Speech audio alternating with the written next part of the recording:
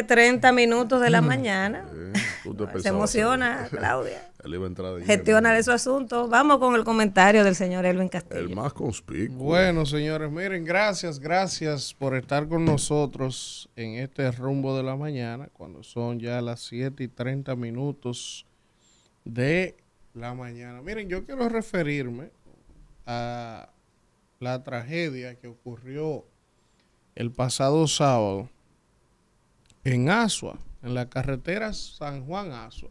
Tenemos por ahí un video, Kelvin, donde eh, había, ahí está el video en pantalla para quienes nos ven a través del canal de YouTube, para quienes nos escuchan en la radio, me imagino que todo el mundo se ha enterado, pero para quienes no se han enterado, en la carretera San Juan Asua había una, hay un centro de expendio de bebidas, dígase drink, colmadón, discoteca, terraza, y debía haber, según las imágenes, más o menos como mil personas aglomeradas, bebiendo romo, fumando droga. 300, usted tiene problemas de cálculo ahí, porque 300 hay una esquina, profesor.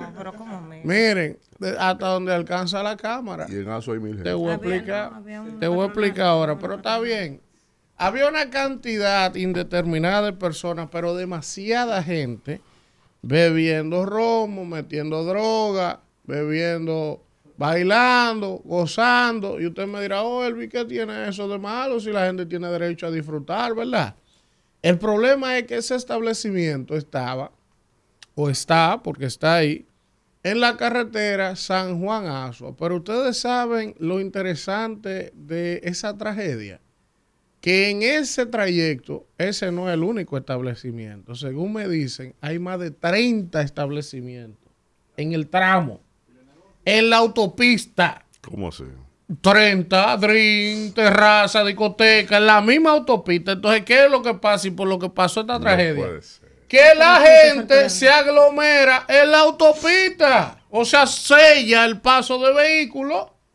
500 gente. Y de noche de madrugada el que viene en un camión como venía ese, lo menos que está esperando es que se va a encontrar con 500 gente, sellando la autopista. Mal iluminado. Entonces, ¿qué pasó? Bueno, lamentablemente, este señor, con lo que se encontró fue con esas 300, 400, 500 gente aglomerada, hizo una chuza en boliche. O sea, se llevó una, miren eso, una multitud de personas Ahí hay más de 11 muertos, más de 50 heridos. Y hoy todo el mundo está hablando de la tragedia. Pero ustedes saben lo que yo quiero decir sobre eso. Si el presidente de la República se respetara, hoy, hoy, hoy, en San Juan, en Asua y en ese tramo, no quedará una autoridad electa. Mira, ni la gobernadora, ni el comandante de la policía, ni jefe del ejército, ni, óyeme, ninguna autoridad civil que tenga que ver en el gobierno, yo lo cancelara a todos hoy. Y los diputados y los senadores no lo cancelo porque fueron por elección popular. Pues tú me vas a decir a mí que en Asua no saben que eso pasa ahí todos los fines de semana. que la autoridad no sabe que ese negocio está ahí y que esa autopista se pone así de gente. Toda la autoridad lo sabe. Dentro de los muertos hay miembros del ejército y miembros de la policía. Entonces, tú me vas a decir a mí que las autoridades locales de la provincia desconocen esa realidad. Bueno, pues porque si la desconocen, entonces lo cancelo por eso. Y entonces, como es lo más lógico, como ellos saben que eso pasa ahí y no han hecho nada para evitar que una tragedia como esa hoy impacte más de 70 familias de la República Dominicana de manera directa y el país entero consternado por esa situación por ese desorden que hay ahí. Entonces ahí hay un tema de regulación, Ministerio de Interior y Policía. O sea, ¿cómo es que a mí entre Asua y San Juan me abren 30 negocios, drink, uno al lado del otro, de bebida alcohólica, ¿eh? en plena autopista, permitiendo que se aglomeren 100, 200, 300 gente que, que obstruyan la carretera y no hay ninguna eh, patrulla policial, no hay ninguna autoridad en el territorio que pueda al menos controlar ese desorden y evitar que pasara una tragedia como la que pasó el sábado. A mí no me hablen hoy de que, de que eso fue un accidente. No, no, no, eso no fue ningún accidente. Eso no fue ningún accidente. Eso era previsible que iba a pasar. Porque usted le pregunta a cualquier persona que vive en esa zona de Aso o en San Juan que pasara por ahí y decía, pero señor, eso tiene meses, años pasando. Para uno pasar por ahí, tiene que ir al pasito empujando a la gente en los carros, en la carretera.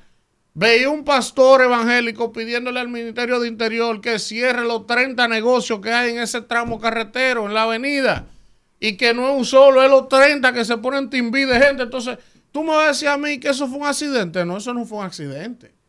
Eso fue una falta de autoridad en el territorio que permitió primero que en ese punto de una carretera se establecieran ese tipo de establecimientos sin ninguna regulación, sin ningún control, sin ninguna supervisión. Y entonces también desde la gobernadora hasta el jefe de la comandancia policial y todas las autoridades de la provincia son responsables, porque tú me vas a decir a mí que en ese tumulto de gente no van patrulla a buscar su peaje. Para dejarlo, van y cogen unos cuartos y lo dejan que amanezcan ahí bebiendo romo y metiendo droga y haciendo de todo. Entonces, mira el problema hoy. Esa es la recaudación del comandante. Mira el problema hoy. Entonces, yo espero que antes de las 12 del día hoy destituyan a todo el que esté de San Cristóbal para abajo, hasta Aso, entre Aso y San Juan, siendo jefe de la policía, gobernadores, a todas las autoridades civiles que hayan ahí, que sean parte del gobierno, porque eso es una, eso no es un accidente, eso fue una responsabilidad de las autoridades que de manera irresponsable, valga la redundancia, no hicieron cumplir la ley.